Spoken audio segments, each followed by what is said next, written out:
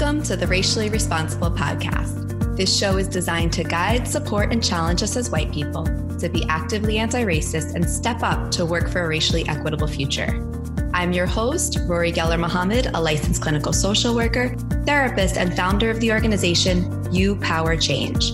I'm also a white woman that grew up with a sibling of color, a white mom raising multiracial kids in a multiracial family, and strive to be a role model of what it looks like to be an anti racist white person. If this resonates with you, I hope you will join the Racially Responsible podcast community on Facebook to continue the conversation, ask questions, and join us as we support each other on next steps. To creating a racially equitable future, let's get started. Sandy, I want to thank you so much for joining me from this podcast episode. I know you've done amazing work in so many different things, but I'm very familiar with the NASW and the anti racism work that you've done in New York around that. So I would love if you could take a moment to introduce yourself, share a little bit about yourself, your work, what you do. First of all, Rory, thank you for having me. It's always an opportunity to reach broader bases of people. So I am a social worker. I'm a clinical social worker in New York City and in Westchester County. And I've been a practicing social worker for 40 years. And I did an undoing racism workshop 20 years ago. And that changed my life and transformed me and morphed me into an organizer. Because what I understood is that the profession of social work, whatever the profession is, it could be medical profession, it could be edu- schools of education, we address the symptoms of racism without an understanding of the what and the why behind what we see.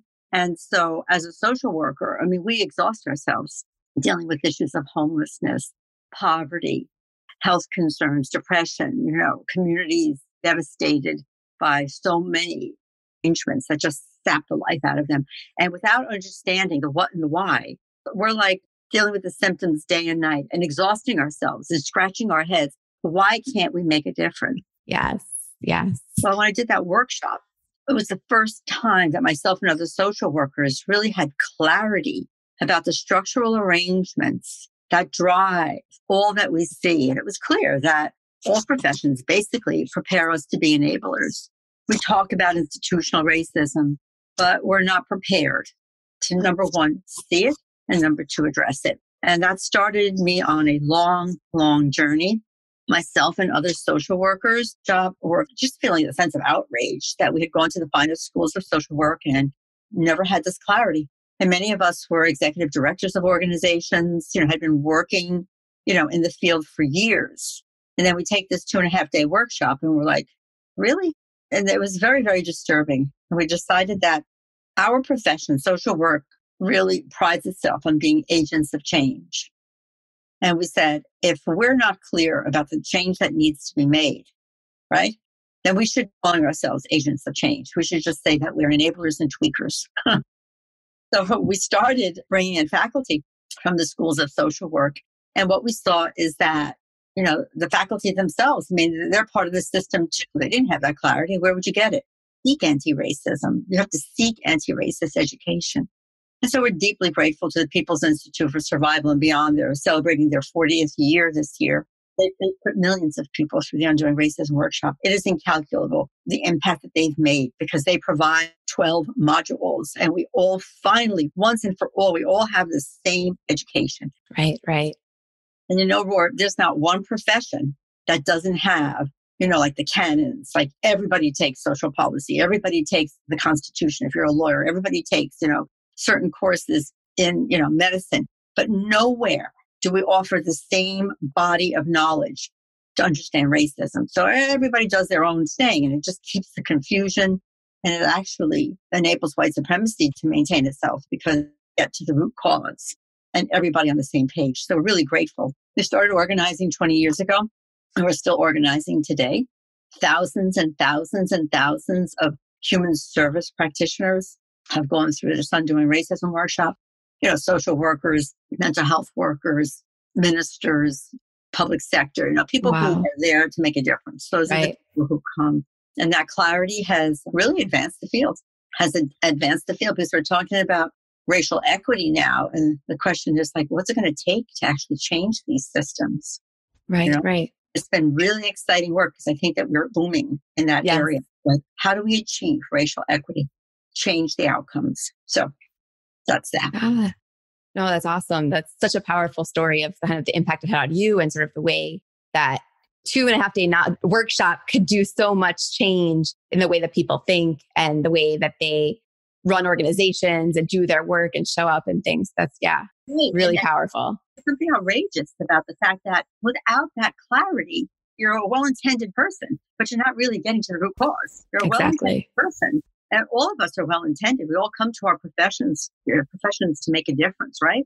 But without that analysis, to understand racism, what it is in this country, Yeah. and that every system was created in the same way, you know? Right. Blah, blah, blah, had never dawned on me, you know, like when the Constitution was written, those the, the people for, who came here from England, they had already established all of that was needed before they even had the Constitution. We had roads, we had Right. we had hospitals, we had everything here. Yeah. And they came with tremendous knowledge. And embedded in that Constitution was structural racism, right? Yeah. The first article says, you know, for the purpose of representation and taxation, the Native Americans would not be considered persons at all, but the enslaved Africans would be considered three fifths of a person. Wow. Bet you embed that in the groundwater, as Joyce James would say, and she's a consultant with the People's Institute. You embed that in the groundwater of a nation, contaminates every system. Yeah. And we've been trying to clean up the system ever since. But until you understand that they're all contaminated with that flaw, Yeah. not everybody is considered with, you know, equally Right. Right. human, you know? Yeah. So, just for some context for people, how do you sort of identify racially, ethnically, culturally? How do you describe yourself in those terms? I'm a white woman and I was born to white parents who immigrated here from Italy. And that's the other thing that happened in the Undoing Racism workshop, you know? I was very, very proud of that story about my parents came here uneducated and had six children. And in one generation, they were able to have all of their children educated. Two of us went to college. The others owned their own homes and they were in professions and everybody was doing well. And I really attributed all of that to the hard work of my parents. You know, and of course they worked hard. But in that workshop, I understood was built for them. So that when white people came, all they needed to do was to assimilate into this white institutional culture. And then they would have access to all of that. Right. There are people of color who work just as hard today and still cannot achieve that because the system was not, in fact, designed for them. Right. That was such an eye opening because I don't know, it just shattered some core belief I had that hard work is what was required to advance. Right. Right. You know, and that there was something called pull yourselves up by the bootstraps. I mean, I really heard my father say, You work your money, you'll get ahead. that workshop really made clear that that's not true. Yeah. They're not equal, right? Yeah, for sure. You know, in graduate school, no, not grad, it was undergrad when I did social work in undergrad, we had an institutional racism course. And I didn't know at the time that that wasn't something that was mandated across the board. So I was so fortunate to have benefited from a course where the systems were discussed and not recognizing until afterwards that not everybody was receiving that. And still, like, even we had a whole semester, of course, that's never enough. But, you know, to have that, how fortunate, like, that, that, that was part of the curriculum. You know, I took that for granted. Do you know something? In schools of social work, they also mandate that we take institutional racism. But that wasn't the same education that I received from the Undoing Racism workshop. Wow. Really talk more abstractly about how systems work. You know, it didn't really like hit home. Right, right, right. All benefiting. If you're white, you are all benefiting from this system, like my parents did. They Right, right. worked hard and they were able to advance with all benefit. Right. But if you're not white, you're not going to benefit from these systems. They're not designed for you. Right. So the other thing that often comes up that I was wondering kind of how you help other white people address it, how you've addressed it yourself, any specific sort of situations that maybe to share or around times when you had hard conversations about race and racism in your life, right? Maybe personal life, maybe something came up professionally, whatever that is. And so whether it was shame or guilt or anxiety, how you manage that, what that looks like, how you approach those types of things. The one thing that I want to say is that there is nothing that's going to shortcut white people doing their own work and feeling super, super comfortable and feeling the esteem and humanity returned when you start acknowledging the truth, right? So, what makes me effective in being with other white people is the fact that I am very, very, very comfortable about it. I don't feel guilt and shame. I feel accountability. You know, we go through when I first heard about this, I was very guilty. I was very ashamed. And I remember that, mm-hmm. that it's developmental, that people feel that. Right. One of the reasons why we feel so much guilt and shame is because we confuse it very often with the hateful things that have been done right? Nastiness and enslavement, and just you really want to distance yourself from all that nastiness. But we have to embrace that, right? We produce trauma. Our ancestors came here and produced a lot of trauma. So it's embracing all of that, internalizing all of that. And it was when you realize that the only way out is to be accountable to it and right. start working with other people to change it, right? Right. In that action and in that organizing to change yes. and speaking out our humanity is restored and then it, it almost recharges us. It reinforces, keep doing it. But you have to do your own work. Right. Because very often, if you're not clear yourself, somebody will bring up something. They're always, somebody's always challenging. And if you're not clear, then you'll fumble. And I say it's okay, fumble, but just keep doing the work to get that clarity. And I never forget that when I first doing anti-racist work, the shame and the guilt was there because I take it personally. But what freed me was understanding that this was something that was done and that white people suffer as well. And that my humanity, right, was impacted. And like I said, my parents immigrated here. And in one generation, I erased all of my Italian heritage. I don't speak Italian. I don't relate to Italian music. And of course, we always like to eat Italian, but anybody can do that. Right. You know, that I lost my culture. I lost the language. I had to lose something. Yeah. And in fact, as a child, I remember being embarrassed. My parents were speaking Italian. You know, I'd be embarrassed with the school lunches that I would bring to school. So that's the price that we pay for racism, right? If you want to be white, you have to assimilate. I remember my mother, she would speak to me Italian and ask me to, to respond in English because she understood the power of assimilation. Right. That's the price that we pay, that we lose our culture, we lose our humanity, that we look at things that are wrong and we use denial and justification in order to keep going, but it's only because we don't know what else to do. Right. Anti racism is liberatory, helps us to understand that all things are not equal, fault, we're accountable, and collectively we can do something. Restore culture, restore respect for people's culture.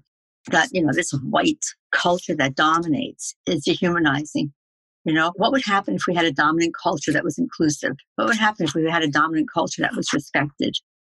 You know, I hear day in and day out we do anti racist work that people of color who work in white institutional culture have stress hormones off the charts constantly, that it's so difficult to work and live in the disrespect that white institutional culture and the values that white institutional culture impose and the people who are gatekeepers to that, you know? Yeah. The people who evaluate and judge and, you know, till we realize that, you know, this white supremacy is destructive and to work towards decentering that.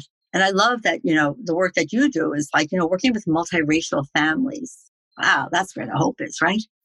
that's where the hope is. Yeah. Yeah. If we have equity. Yes. And they're not always, you know, multiracial because they're compared to white families. Right. Right. right for sure. I would love to hear also in all you've done so much organizing work when kind of like what the process was getting started when you, you know having being able to bring so many of these workshops to so many people. How did that look? Like how did you get actually do that make that happen? Right well the first one is always like giving birth. The first one is always the hardest one because what you're trying to do is to bring people you need at least 35 people to come to a workshop and organize your first workshop is difficult because everybody has a reason to not do it. Yes. Oh, I'm not racist. Oh, I've been black all my life. Oh, I write books on race critical theory. You know, there's many, many reasons I can't give up two and a half days of my time. I don't have $350. I mean, can you imagine that? So there are many, many reasons because people want to avoid it, right? Yeah hardest part is really sharing with people, you know, why we need to do this and just how it restores the humanity.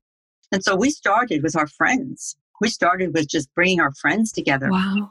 our colleagues together, and getting a small grant from NASW and just saying, you know, we just have to do this. I've been sharing our story. I would go around telling people I did this workshop and this is what I learned. And, you know, I was the executive director of, you know, the Council on Alcoholism and Drug Dependence, and I didn't know this. And we can do this.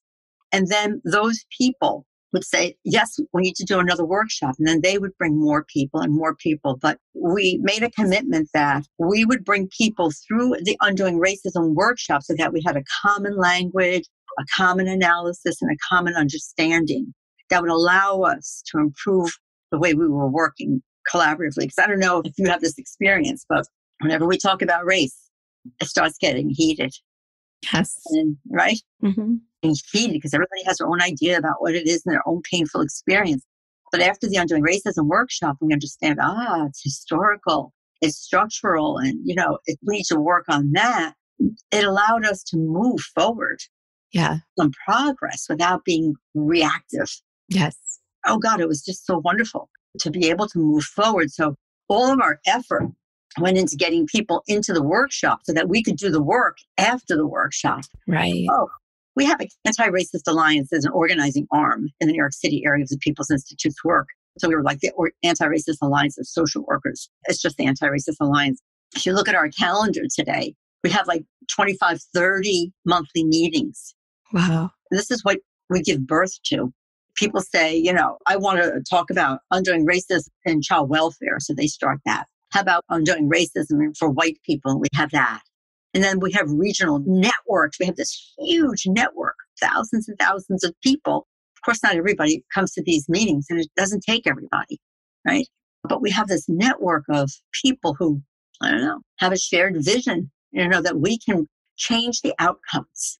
Yes. We can change the outcomes if we change the way we do business. So anybody can go to the anti-racist-alliance.com website. It's a resource for everybody.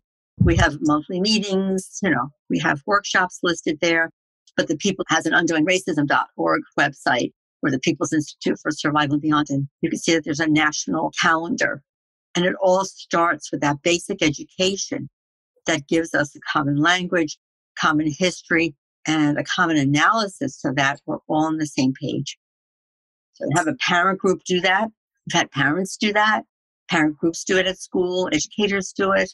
Healthcare, nurses, you know, because what the point is, is that after you do this workshop, you turn the mirror inward and you start looking at your own discipline, your own work. So you're not out there like fixing people. You're looking at, oh, how is social work maintaining white supremacy? How is social work, you know, keeping people, black leadership out? How are we excluding, you know, oh, how are we using parenting models that really are exclusive and harmful, right? Yeah, no, it's an amazing workshop. I mean, I had taken initially in, I think, like 2005 um, in New York at the time. I remember also getting, I worked in high school, so being able to try to get the principal to let some of the teachers go to take the workshop. And moving down to Florida, they have the uh, the Racial Equity Institute. I know is connected and like a partner with them that they've worked with and are starting to do it down here. Yeah, it's an amazing thing to see the change that can happen when people are participating in these type of workshop for sure. The Racial Equity Institute is not a partner, so it does something Okay. different. But- Okay. Yes, the Undoing Racism workshop is also down in Florida.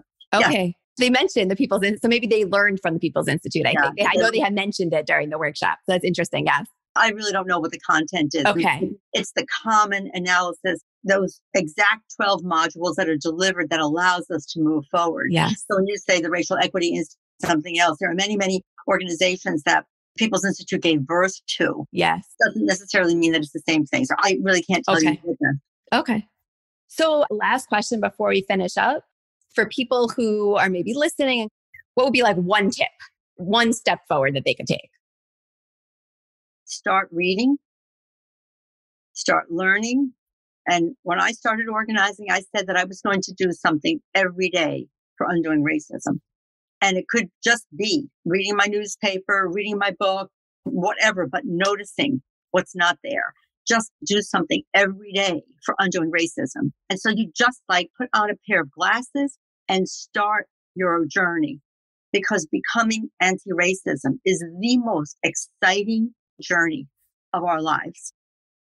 And you won't know that until you actually begin to accumulate power. And it happens just like if we're going to work out, if we're going to, whatever it is, you know, you need discipline. So do something every day for humanity. And you can look at magazines, you can look at your children's books. Just as one example, okay? I was looking down at somebody's little homework assignment and it was at a church and a little girl had this little thing on her uh, pew and it said, Jesus loves the little children of the world. And I looked down and guess what I saw? I saw all the children of the world, but there was one color that was missing and it was the black child. Wow. Can you believe that? 2020. And this is what I saw. And so I'm making note of that. And so I spoke to somebody at that church. I went over and I said, by the way, you know, who's in charge of education? That was what I did that day. And not to shame anybody, but to just probably didn't notice that, you know, but that's something that, you know, want to be cognizant of who's missing right volume. So do something every day. Build that anti-racist muscle. You know, start that journey and just be ready for the liberation that comes, for the aliveness that comes, and the humanity that comes when we make a commitment to do the right thing. And this is definitely the right thing. Thank you so, so much, Sandy. This has been wonderful. It's been wonderful chatting with you. Thank you so much for this opportunity. Okay. And I can't wait to hear the podcast. Awesome. Thank you for joining us for today's episode of the Racially Responsible Podcast. I hope you participate in our Facebook group to continue the conversation, share your thoughts, ask questions, and suggest future topics you would like to hear discussed on the show. I like to end each episode with encouraging each of us to think about one action step, small or big, that we could take today to help us move in the direction of creating a racially equitable future. If you feel comfortable, share your action step in our Facebook group to inspire and encourage others and receive support because we know action steps aren't always easy. Don't forget to check out the show notes, and I hope you join us for our next episode. Until next time.